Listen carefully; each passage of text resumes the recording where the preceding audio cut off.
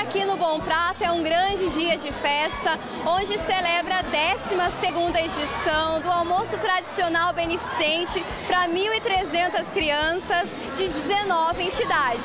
E olha, a criançada está se divertindo.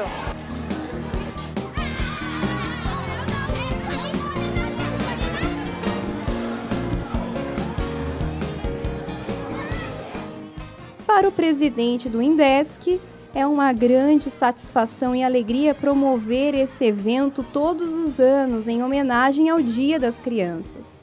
Muitas das crianças que vêm aqui, é o único carinho que ele recebe é em referência ao Dia das Crianças.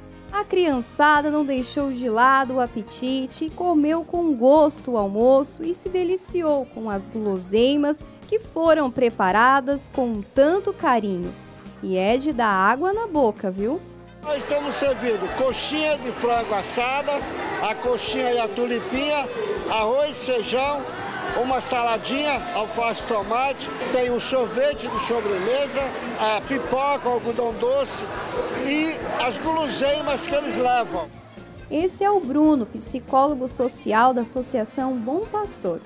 Ele menciona a importância de reunir as crianças em um espaço diferente com muitas interações, pois isso fortalece os vínculos entre eles sair do bairro, fazer um passeio diferente, só de subir em cima de um ônibus e vir para um lugar onde as pessoas estão esperando e estão se importando por, com elas, para eles já é um, uma alegria imensa.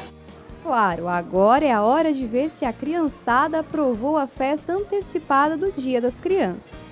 Eu estou gostando bastante porque, tipo, muitas crianças não têm condições de ter isso e eles dão a oportunidade de fazer elas felizes, pelo menos um dia da vida delas, não um dia que pode vir outros dias, mas eu fico feliz tanto por mim, tanto por elas. O que mais que vocês gostaram?